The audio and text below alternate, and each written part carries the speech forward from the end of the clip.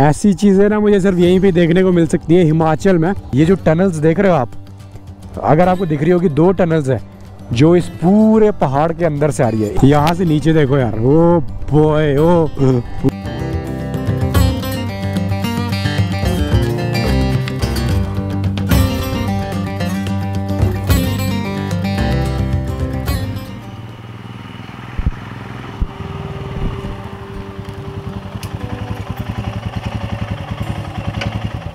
Good morning सत श्रीकाल नमस्कार and welcome back to the channel काफ़ी दिनों बाद रोड्स पर वापस आकर बहुत अच्छा लग रहा है यार।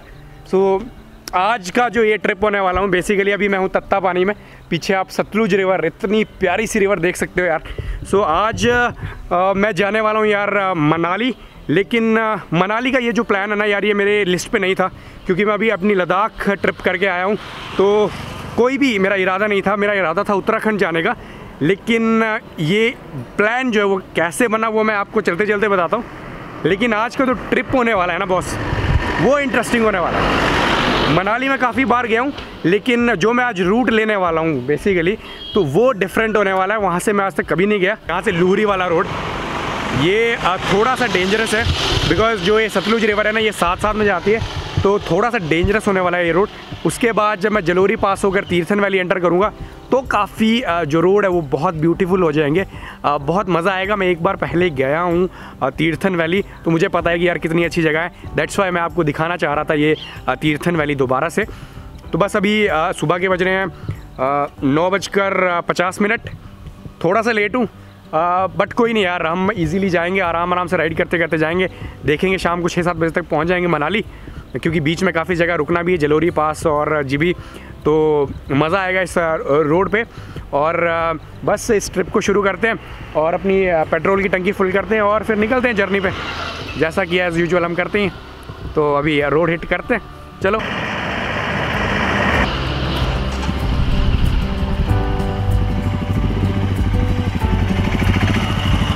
ओके okay जी सो so, तत्ता पानी से निकल रहा हूँ यार अपनी जर्नी की तरफ़।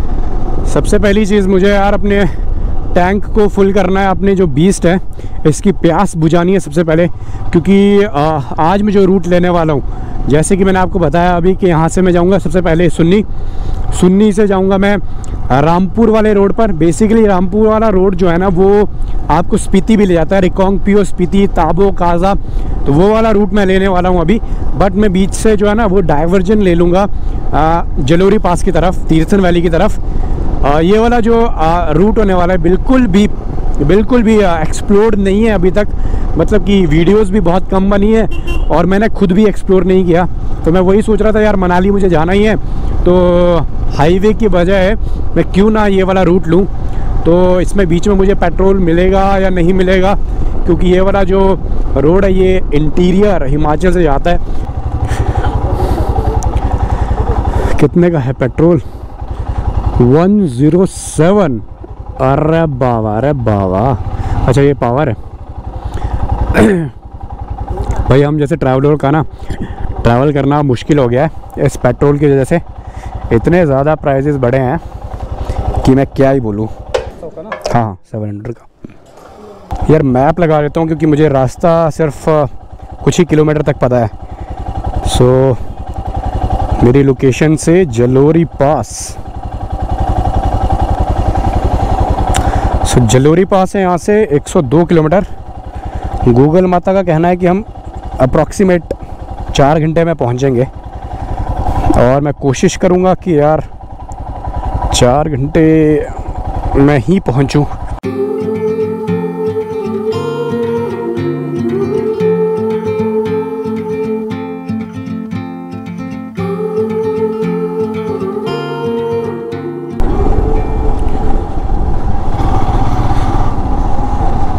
हाँ।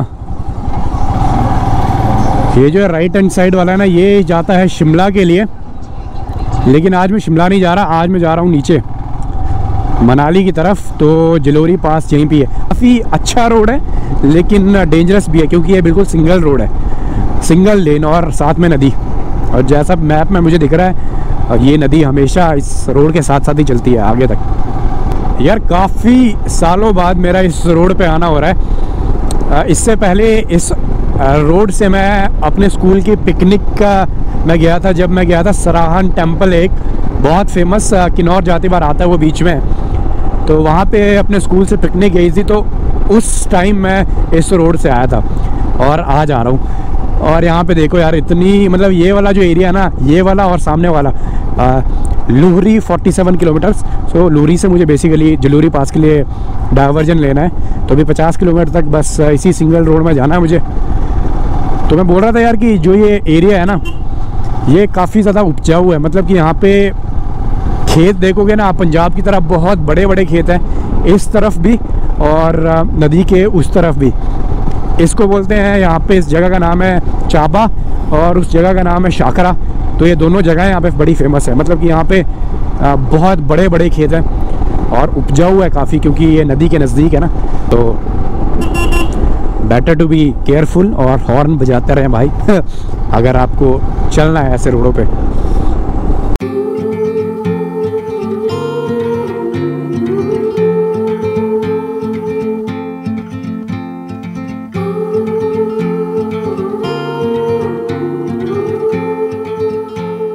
अगर आप पाएँगे प्रॉब्लम ये है ये सारी चीज़ें हैं। तो इसमें आप बैठ नहीं पाएँगे मेरे को लगता है। चलो कोई बात बसेज आएँगी वैसे? आएगी यहाँ पे? नहीं आएगी। नहीं आएगी क्या? देखता हूँ यहाँ से अच्छा क्योंकि यहाँ पे सामान है ना। अगर नहीं होता तो आप आ जाते कोई दिक्कत नहीं। ओके। अगर मेरे पास सामान नहीं होता ना पीछे ट्राईपोर्ट और सैडल बैग्स हैं। तो थोड़ा सा बैठना मुश्किल हो जाएगा। इनके लिए ट्राईपोर्ट मैं कहाँ रखूँगा? और इस रोड पे वैसे भी बसेस और गाड़ियाँ तो चलती रहती है काफ़ी तो ये नहीं होता तो मैं इनको लिफ्ट दे देता। और ये देखो, जिस चीज़ की मैं बात कर रहा था ना, रोड देखो, एकदम किन्नौर वाले रोड शुरू हो चुके हैं यहाँ पे।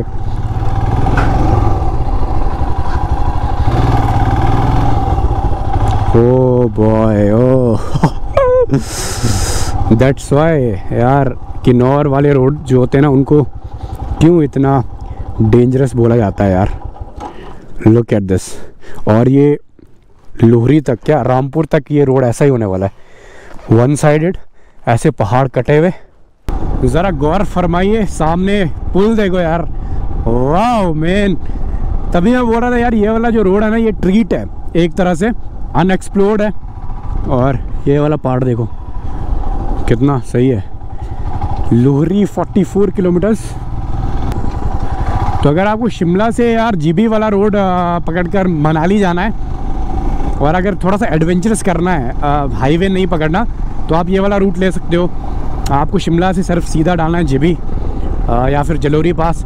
तो आपको वो लोहरी पहले आ, मतलब कि आने को बोलेगा फिर वो लोहरी से डाइवर्जन ले सकते हो आप, और रोड ऐसा ही रहेगा। अच्छा रोड है मतलब कि थोड़ा केयरफुल होकर चलने की ज़रूरत है बट एन्जॉय तो एक नंबर मज़ा आएगा इस पर यार।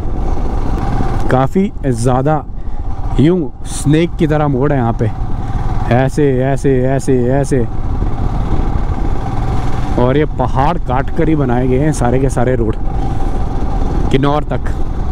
आपको तो पता ही होगा यार, किन्नौर में कैसे रोड हैं। वीडियोस देखी होगी आपने काफ़ी। तो बस उसी स्टेट हाईवे का पार्ट है ये वाला रोड भी। यहाँ से सामान भेजते क्या? ओके जी सो ये रस्सी है बीच में लोहे की और यहाँ से सामने तक सामान पहुँचाने के लिए यहाँ पे मोटर लगाई है।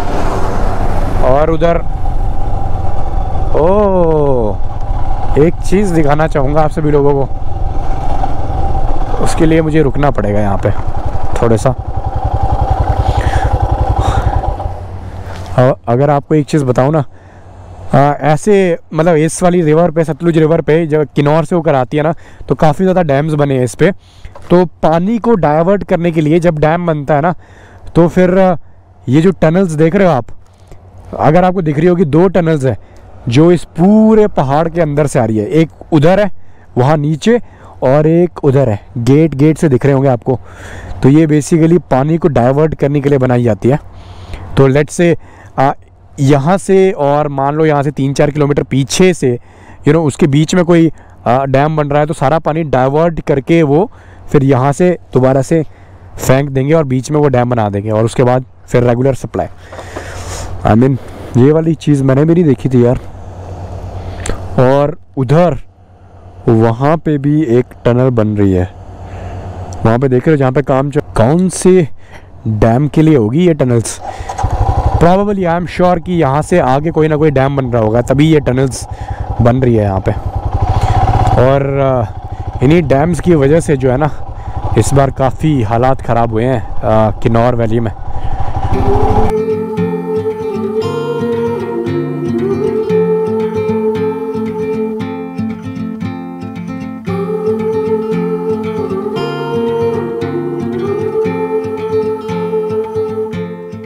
ये आप ऊपर रोड देख पा रहे होंगे, ऊपर बिल्कुल ढांक में बना है ये रोड वैसे तो। बट जो ये रोड देख, दिख रहा है ना आपको, ये वाला रोड जो है वो शिमला से आ रहा है। और मैं आपको बता रहा था कि यार, अगर आपको शिमला से भी आना हो, जलोरी पास से मनाली के लिए तो आप ये वाला रोड आ रहा और ये आगे मिलेगा लूहरी में। ये दोनों रोड आगे मिल जाएँगे। फिर उसके थोड़ा आगे से आप डाइवर्जन ले लोगे मनाली की तरफ़। काफ़ी ख़तरनाक हाइट पे बना है वो। ट्रैफ़िक नहीं है इसमें। लोग एट दिस यार। कितना प्यारा है रोड है यार। आई मीन मिस कर रहा था मैं यार इस राइड को। क्योंकि लद्दाख के बाद सात आठ दिनों का या पंद्रह दिनों का कम से कम ब्रेक जो है मैंने लिया था राइडिंग से। और उसके बाद मैं अब निकल रहा हूँ। देखो यार।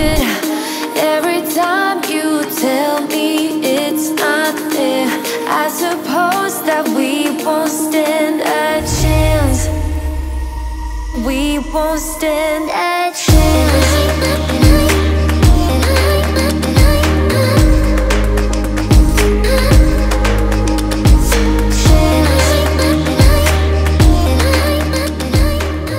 जितना मुझे लग रहा है मैप के अकॉर्डिंग अभी मैं जा रहा हूँ सीधा आगे और आगे से लेना है मुझे यू टर्न ये वाला जो रोड आप सामने देख पा रहे हो ना इस वाले रोड से मुझे जलोरी पास जाना है। लो जी तो मैं लोहरी तो पहुँच गया हूँ। यहाँ से मुझे लेना है डाइवर्जन इस पुल से लेफ़्ट हैंड साइड की तरफ़। आगे अगर मैं सीधा चला जाऊँ तो सीधा जाऊँगा मैं काजा स्पीति वैली की तरफ़, किन्नौर। और यहाँ से आनी 20 किलोमीटर, रामपुर 33 आगे को। तो लोहरी का छोटा सा मार्केट। चेक दिस आउट मुझे ये पता था। तो अब मैं अच्छे से स्पीड मेंटेन कर पाऊँगा। आई गेस आनी एक जगह है टाउन है। वहाँ तक ये रोड ऐसा ही रहेगा। और उसके बाद जब मैं जलोरी पास के लिए चढ़ूँगा ना हाइट पे तो फिर थोड़ा बहुत ख़राब मिल सकता है मुझे।